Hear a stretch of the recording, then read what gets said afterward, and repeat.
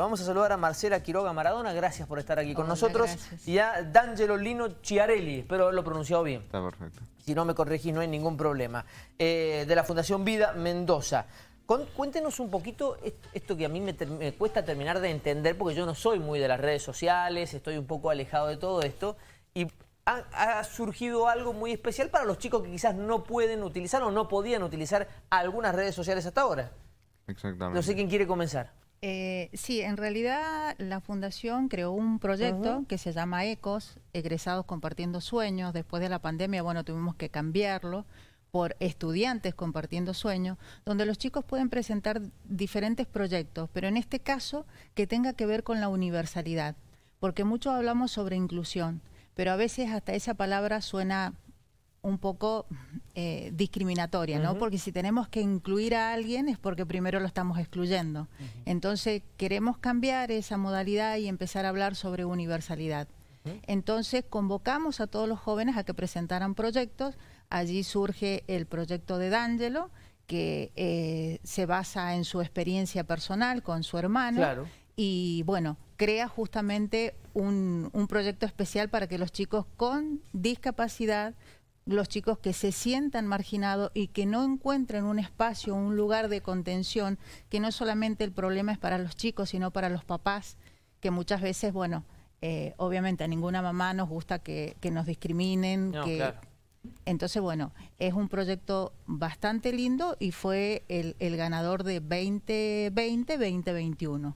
Y también fue eh, reconocido en la legislatura, en, el Senado de la provincia, por un proyecto innovador sobre el tema de la inclusión. Es un niño que trabaja sobre la inclusión. Contanos un poco entonces, ¿de qué se trata ese proyecto? Bueno, el proyecto consiste en dar un espacio en una aplicación llamada Twitch, la cual sirve para hacer directos. Ahí yo hago streams de cualquier clase de contenido, un contenido que puede ser lo que más te guste, ya sea de cocina, ya sea hablar con los espectadores, juegos, reaccionar, etcétera. Entonces eh, salió en un momento porque mi hermano dijo, yo quiero hacer lo mismo que vos, quiero hacer directos. Entonces hicimos un directo juntos, él le gustó, vi que estaba contento, vi que estaba feliz. Y me puse a pensar un poco y dije, ¿por qué si a mi hermano que le gusta este pequeño espacio que creamos en el momento para él, no puedo hacer lo mismo para el resto, al resto de chicos en la misma situación que él. Bajarme a la tierra todo esto porque por ahí nosotros nos quedamos un poco más afuera. ¿Qué es un directo? Contanos un poquito de eso. Un directo sería lo mismo que, por ejemplo, los videos de YouTube, solamente que esos están editados. Hay, bueno, una persona X que con un, programa, un programa de edición le pone efectos, eh, corta los videos, etcétera. En cambio, con los directos es todo en vivo. Es como, por ejemplo, esto. Un vivo. Básicamente eso. Entonces, bueno, salió eh, hacer ese directo con mi hermano, salió ese pensamiento en, ese momento y, bueno, quise extenderlo, así que buscamos un grupo de gente para que se pueda hacer realidad ese proyecto. Básicamente consiste en hacer, por ejemplo, una llamada con estos chicos. Obviamente se les indica de alguna forma, ya sea con eh, se habla con las autoridades, con los padres o con los maestros integradores, que hay algunos que tienen también. Y bueno, nos ponemos en contacto para estar en llamada y hacer alguna actividad, alguna actividad que ellos puedan hacer. Por ejemplo, algún juego X como le gusta a mi hermano, el Free Fire. Hay chicos que lo pueden jugar, otros que no, buscamos las condiciones y las adaptamos para ellos. Y que sea lo más inclusivo posible, digamos, que pueda ser lo más amplio posible. Que puedan interactuar entre ellos y, ¿por qué no?, eh, también conocer nuevos amigos, ya sea por, por el Internet. Que me imagino debe ser parte también fundamental, ¿no?, dentro de este tipo de proyectos, que sea lo más inclusivo posible, que sea lo más abarcativo posible. Exactamente, y no hablamos solo, solo de discapacidad, hay muchos chicos que, que sufren de género, que sufren por el color, por su creencia, ¿sí? Entonces, bueno, siempre hay diferentes grupos que están marginados. Este es un espacio justamente para que todos puedan interactuar, se conocen, hacen nuevos amigos y, bueno, tienen un espacio, saben que hay un lugar donde ellos siempre van a tener una contención, porque también participan las maestras integradoras, como dijo D'Angelo, eh, y otros profesionales que también actúan de mediadores, ¿no? Porque a veces los chicos con esa adrenalina del juego por ahí eh, se sobrepasan, pero está establecida la plataforma para que ante alguna agresión directamente se anule. Sí. Marcela, y eh, si bien yo siento que hemos mejorado mucho en, torno a el, trato de la discapacidad, también por ahí me pongo a pensar y digo, bueno, falta un montón. ¿Dónde estamos hoy parados? Como sociedad, digo.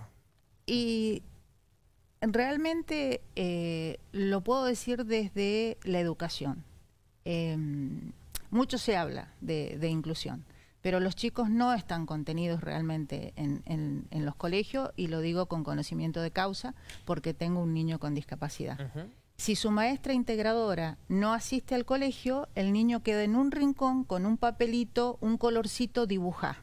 Todavía no está el sentido de que la maestra del grado, claro, es su maestra. Lo demás acompaña. Acompaña si no sabe leer, si no sabe interactuar desde el pizarrón y poder escribir.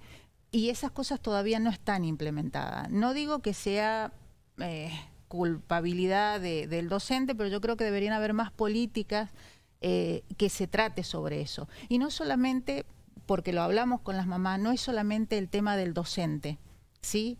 En todas las áreas en los médicos, en los arquitectos. O sea, no hay un conocimiento, no hay una materia que pueda hablar sobre el tema de la universalidad y la inclusión.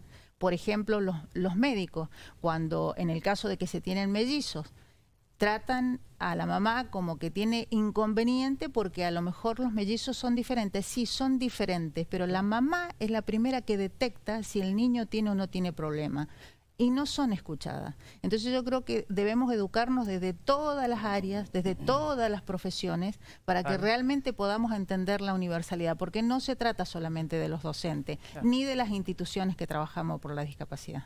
Y en tu experiencia, contanos un poquito cómo, cómo te ha ido en este tiempito que, desde que presentaste el proyecto, cómo ha sido esa experiencia justamente con los chicos. Bueno, la verdad que me ha gustado, me sentí muy cómodo con la experiencia, eh, sentí de que la gente en realidad apoyaba este proyecto. No lo digo solamente por mis compañeros, por mis amigos que se han prestado incluso para hacer videos por la inclusión y de que hasta el día de hoy me siguen apoyando, sino de que se ha ido sumando mucha más gente, gente que por ahí ni conocía y que es realmente importante.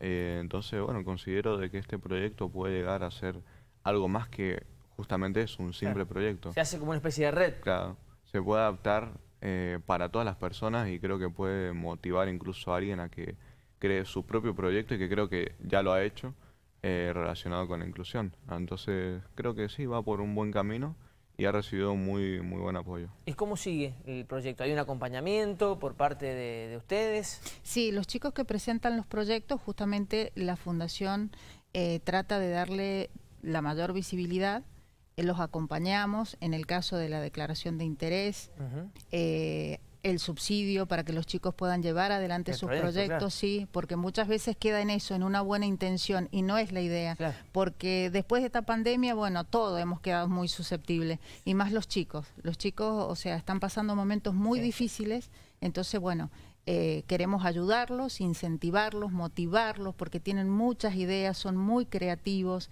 Eh, lo único que necesitan los chicos es ser escuchados, que tengan un pequeño espacio. Ellos no piden grandes cosas, sino que se escuche. Y no solamente desde el colegio, sino también los papás somos responsables de darles un espacio, de parar un poco con nuestro trabajo, nuestra responsabilidad y escucharlos un poco, porque también tienen cosas para decirnos.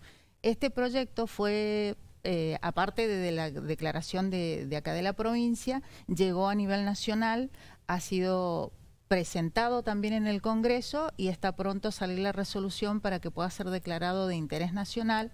Realmente nos hemos encontrado, gracias a Dios, con, con personas muy sensibles al tema y que toman conciencia de que es necesario esto, pero no sectorizado por provincia, por grupo, por chico, por proyecto, sino realmente trabajar a nivel país para que se logre una verdadera universalidad. Si alguien te quiere contactar, ¿cómo puede hacer? Que por ahí nos está mirando y resulta interesado en esto. Tengo, bueno, últimamente... O a través de la fundación, quizás. También. Sí, tiene su propio... Tengo, bueno, un Instagram, zapatín-bajo. Si no, me pueden contactar también por Gmail, que de vez en cuando lo reviso, dangerochiarelli4 gmail.com. Y si no, bueno, también tienen mi Facebook, que es Dangelo pero mayormente uso Instagram, así que la mejor comunicación creo que es por ahí. Bien. Eh, gracias a los dos por habernos acompañado y por contarnos esta historia. Muy amables. ¿eh?